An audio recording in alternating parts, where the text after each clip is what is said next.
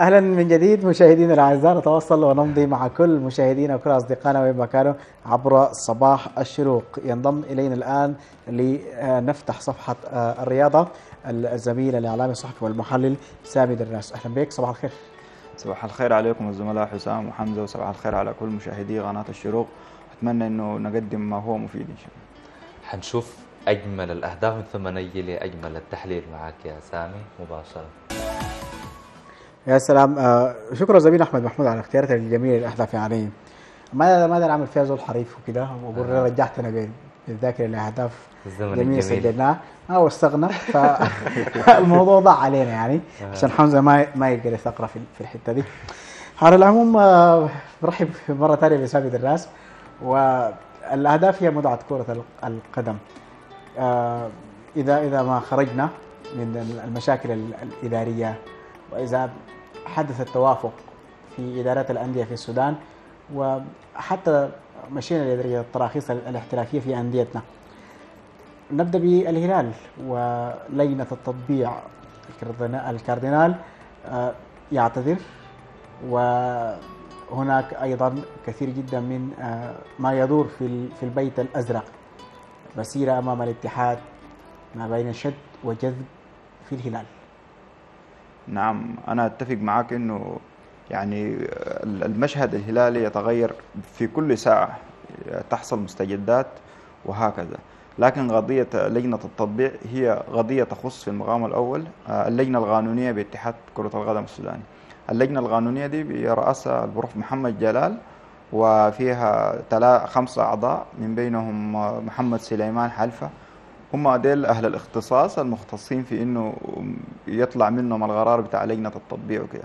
لكن في إطار المشاورات ومع الأسرة الهلالية وكل أهل القبيلة الرياضية يعني البروف شداد يقود المبادرات ويخترع وينظر في القائمة اللي بيتصلوا من أجل تحديد من سيقود الهلال. في تقدير أنه وجود البروف شداد على رئاسة الاتحاد آه، ممكن يسهل المهمة في يعني تنقيح واختيار آه، قائمة مثالية تقود النادي في الفترة الانتقالية. أها. في أيضا جدل كبير جدا في في الاتحاد يعني. بعد ما بعد قبول الكاردينال للجنه التطبيع لثلاث شهور مع الهلال اعتذر. وكان الجدل حول قبول أيضا الاعتذار من قبل ال- الكاردينال. إلى أين يتجه مشهد نادي الهلال؟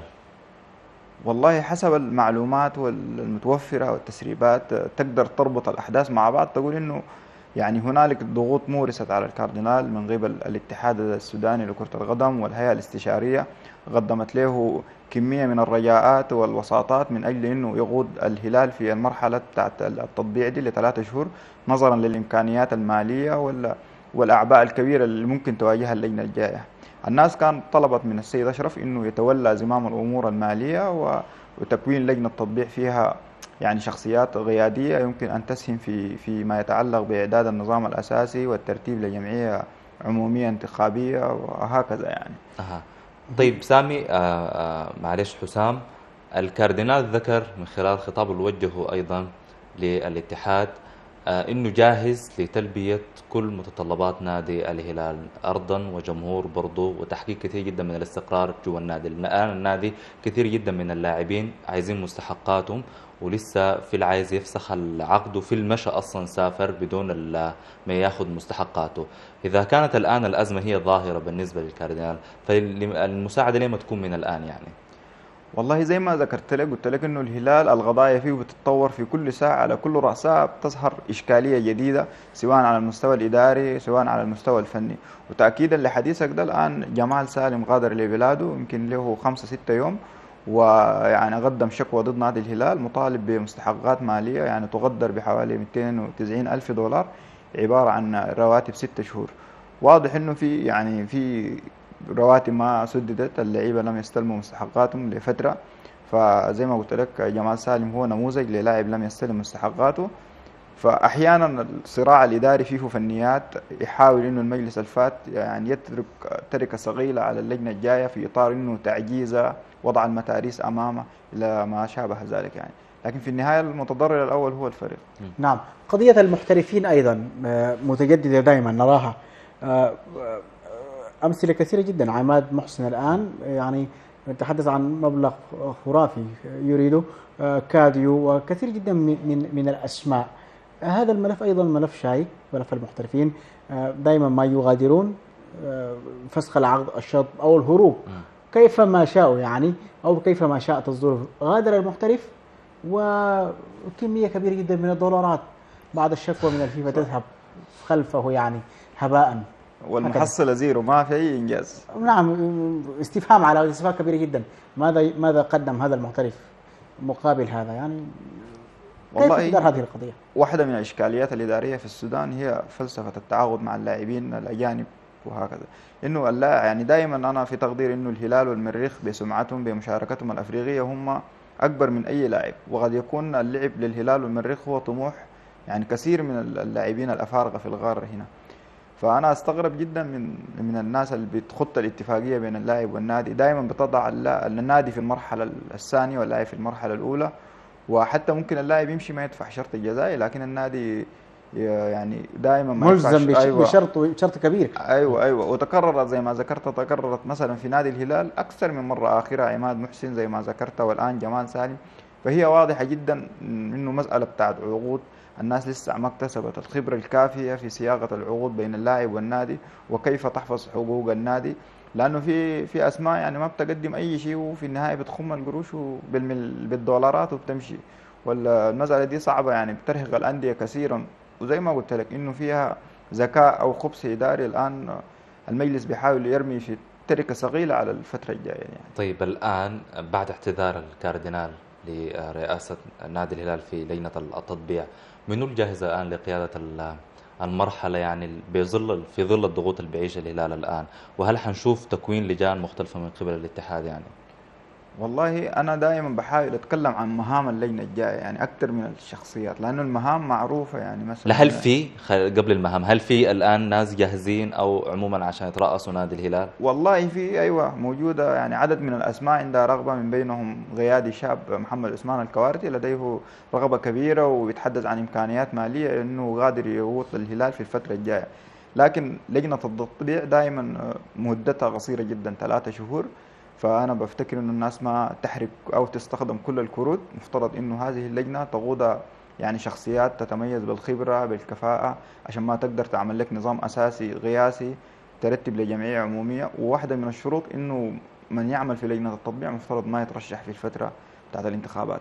أنا بفتكر إنه الهلال يحفظ الأسماء الشابة محمد عثمان كوارتي أو غيره لفترة الانتخابات عشان ما يعني الناس ما تكشف كل أوراقه ويجي في الفترة بتاعت الثلاثة شهور دي تكون خصما عليه لأنه حتكون فترة صعبة شديد.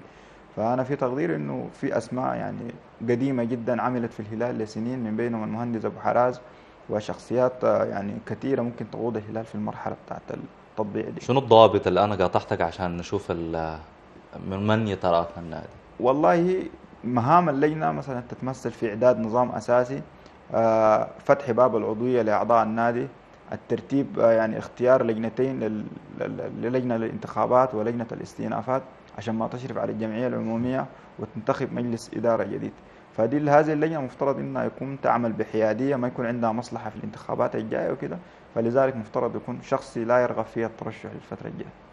برؤية فنية فرنسية مميزة منتخبنا ال- الوطني يواصل الإعداد والآمال والأنظار تقديم مستويات مميزة جدا خاصة أنه المنتخب في الآونة الأخيرة يعني واحد من ال- الملفات المهمة اللي كانت ما مفتوحة فتح ملف ال- ال- المحترفين. واضحة عندنا محترفين. حنجي لموضوع الاحتراف ده.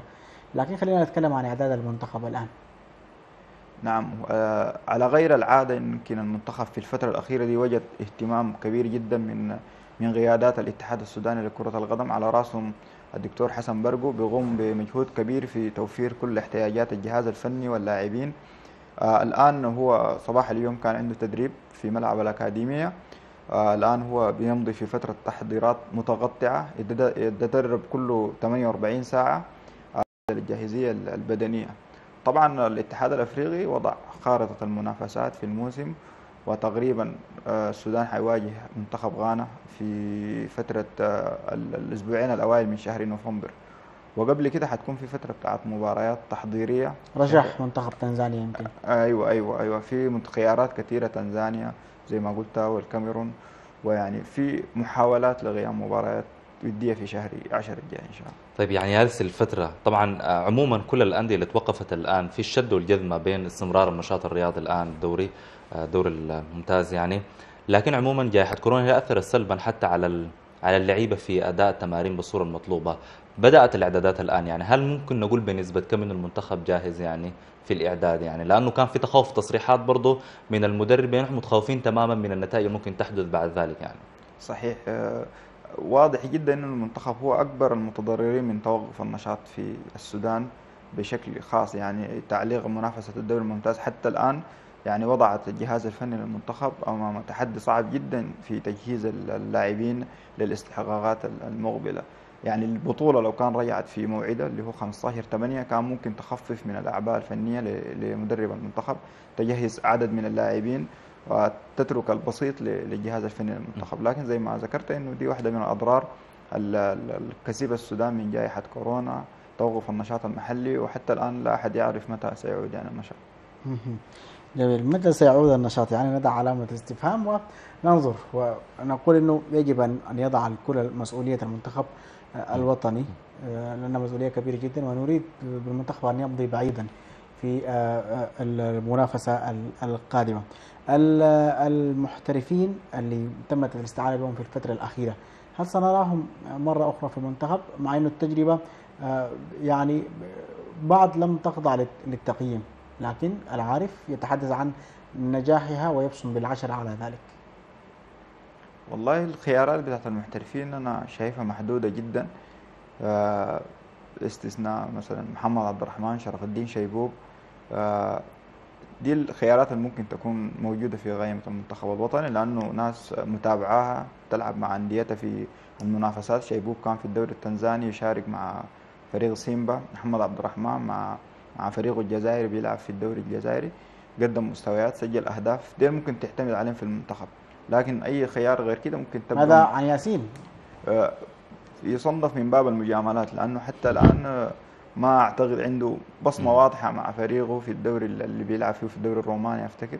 ما عنده بصمة واضحة ما عنده حتى أخبار متداولة عن مشاركته مع النادي وكده يعني. لكن دي ناس متاحين قريبين من الجهاز الفني.